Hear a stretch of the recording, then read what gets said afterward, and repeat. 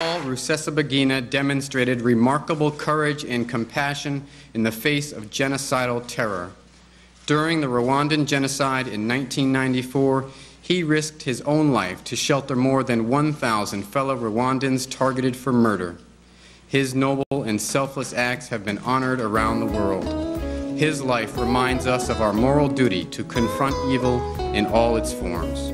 The United States honors Paul Rusesabagina for his spirit and bravery in defending and caring for his fellow man.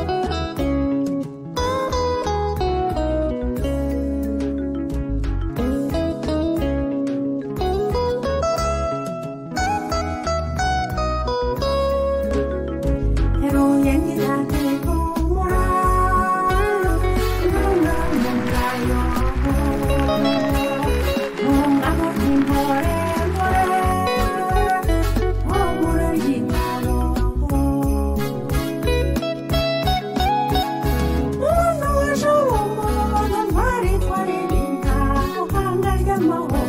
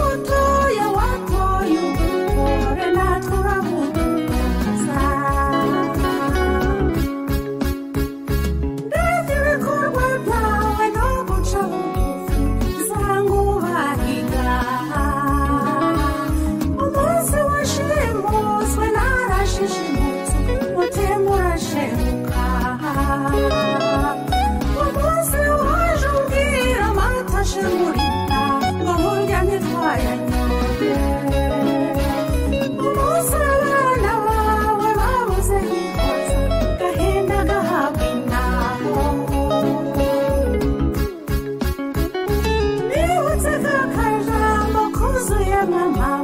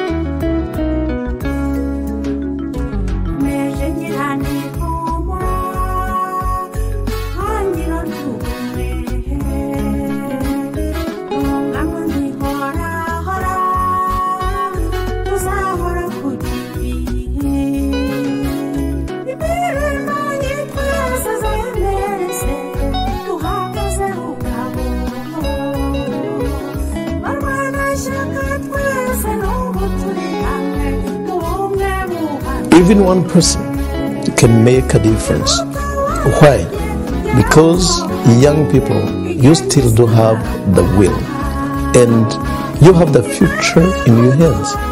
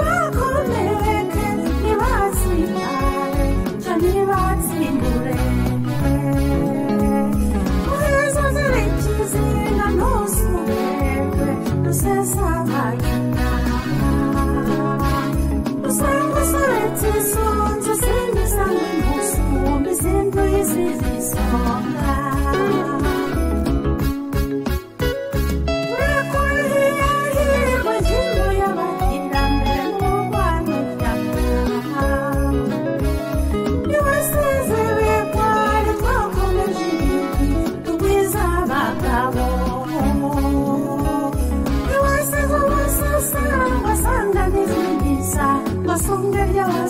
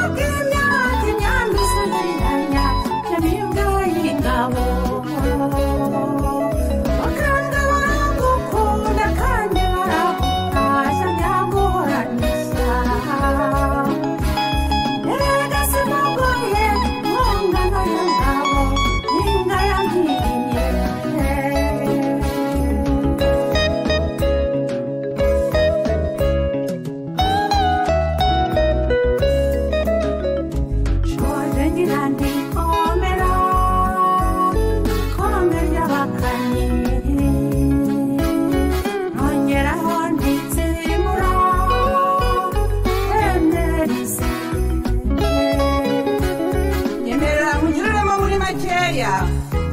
Ubutwari n'ubuhizi bw'abana bose bo mu muryango.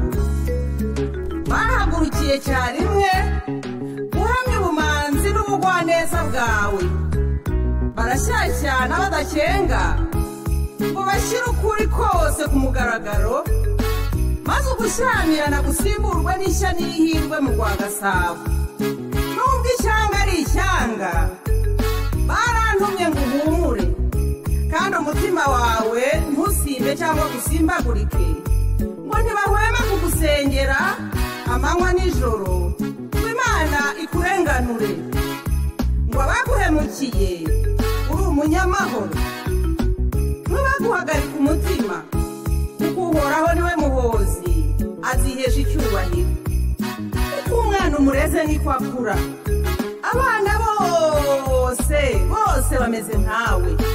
Baharanira ubumwe n'ihumure rya bene kanyarwanda n'abandi bumvireho. Mumenyereze abana inzira nziza bakiri batoya. Kugira ngo umunsi umwe bazabahagararire ku ruhembe. We have stood by.